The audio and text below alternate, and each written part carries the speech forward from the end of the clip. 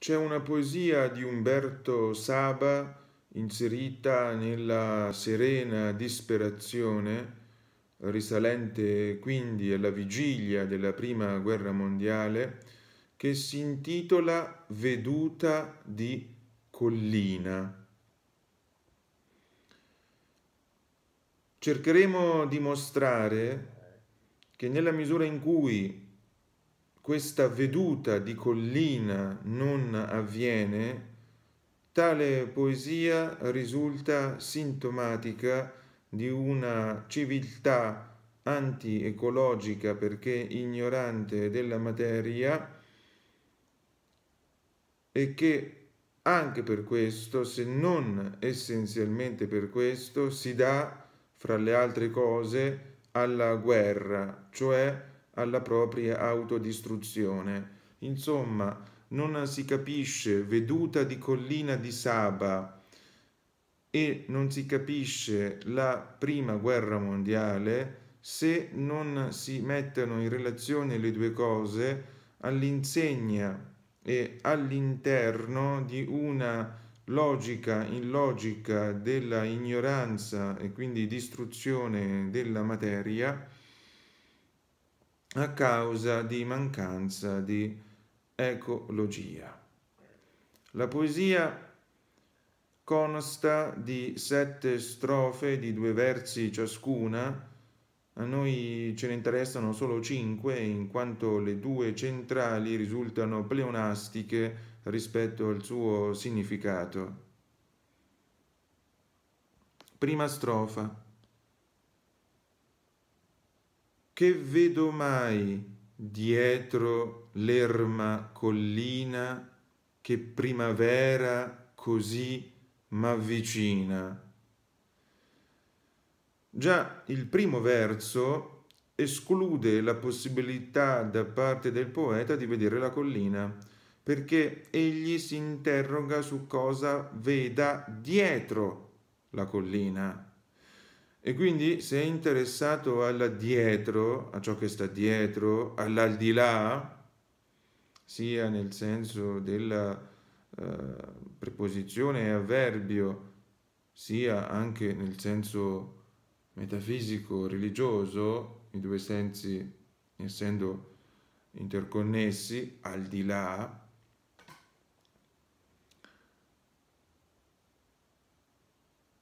al di là non può esserci l'interesse per il presente, per ciò che appare qui.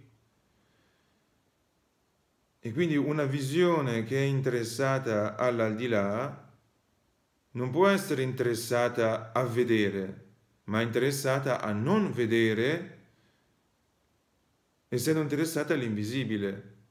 Ciò che è al di là è invisibile rispetto al presente.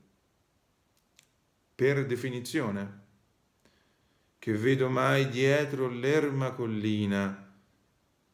Qui abbiamo un esplicito richiamo all'infinito leopardiano, scritto un secolo prima, e il significato di questa poesia è esattamente uguale a quello dell'idillio leopardiano entrambi negano la materia presente. Entrambe le poesie sono interessate all'aldilà, astraggono quindi dalla materia, ignorano la materia, rientrano Saba e Leopardi, almeno per quanto riguarda queste due poesie, perché vi sono tanti Saba come vi sono tanti leopardi, è molteplice non solo l'essere in generale, come diceva Aristotele, ma l'essere di ogni singolo ente e quindi anche di ogni singolo uomo. Ogni singolo uomo si dice in tanti modi, come aristotelicamente eh, dimostrerà Freud, per esempio e quindi la mancanza di ecologia di Leopardi e di Saba va circoscritta alle loro varie espressioni.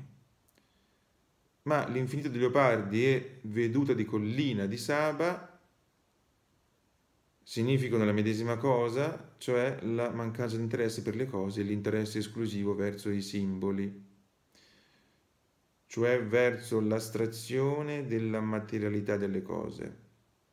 Un simbolo è una cosa astratta, un simbolo è una cosa che è alla ricerca dell'aldilà, eh, che quindi si nega, che viene negata indefinitamente. E infatti il simbolo ha sempre a che fare con l'infinito, infatti la poesia di Leopardi si intitola L'infinito, e come vedremo, veduta di collina di Saba non è un tentativo di vedere una collina, ma è una celebrazione dell'infinito, quindi è un tentativo di essere ciechi dinanzi alla collina per vedere l'infinito, un po' come Empedocle si accecava, secondo la leggenda, per vedere la verità che non avrebbe a che fare con la vista e quindi con la materia, ma sarebbe qualcosa di astratto.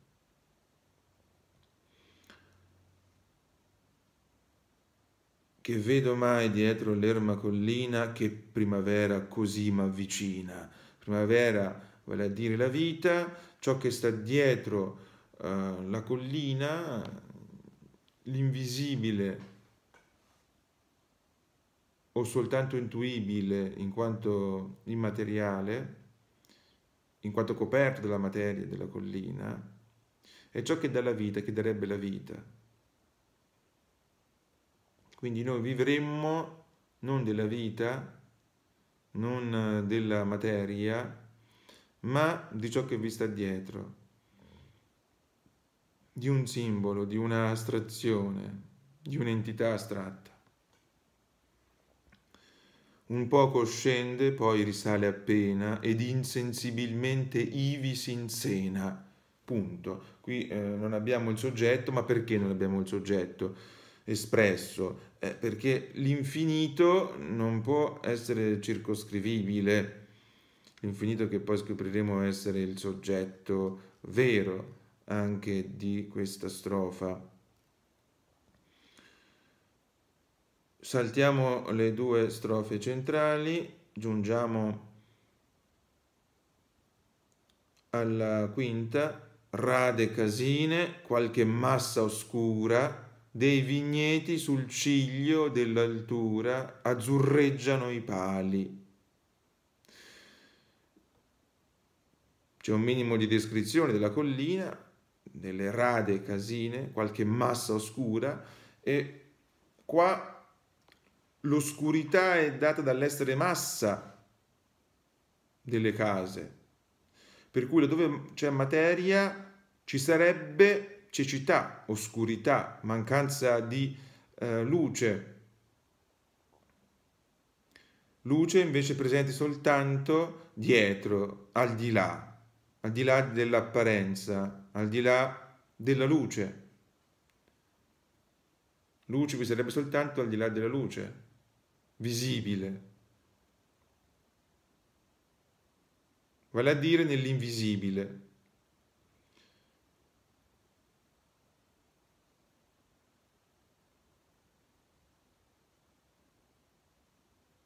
Sesta strofa, un picciol vetro brilla e si accende a tutto il sole. Questo vetro può intendersi sia come quello di una casa, che è l'unica cosa che emancipa dalla massa oscura materiale la casa, e lo fa tramite l'artificio del vetro, che non è una cosa naturale, e che quindi, in quanto artificiale, cerca di andare al di là della materia naturale. Insomma, il vetro ha a che fare con il logos,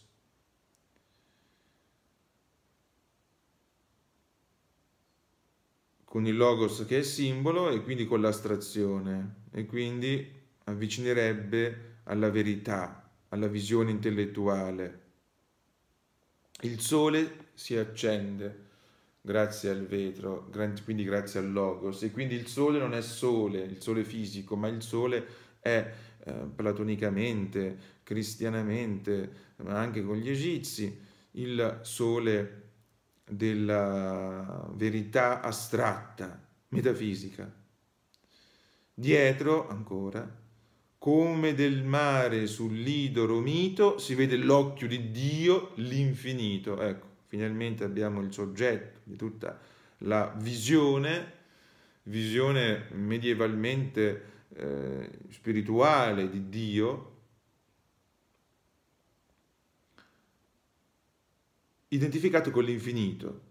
Ecco, Leopardi nell'ultima parola viene richiamato esplicitamente come nel primo verso, Erma collina infinito. Erma collina che non viene vista, perché quello che si vede è l'occhio di Dio. Quindi in realtà non siamo noi che vediamo, ma è Dio con il suo occhio che vede. Vuol dire l'astrazione che prende consapevolezza di sé nell'infinito. Il mare ovviamente simbolo dell'infinito, per cui la veduta di collina è una veduta del mare che si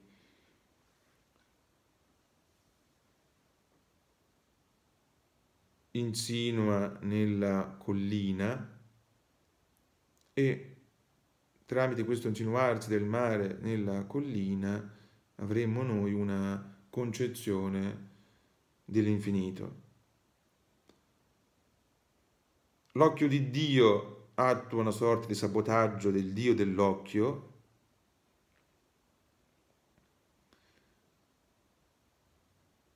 dietro come del mare sull'idolo mito si vede l'occhio di Dio, l'infinito, ma eh, è il mare, quindi una, questo come del mare sull'idolo mito è una pseudo similitudine, così come nell'intera poesia abbiamo una pseudo visione.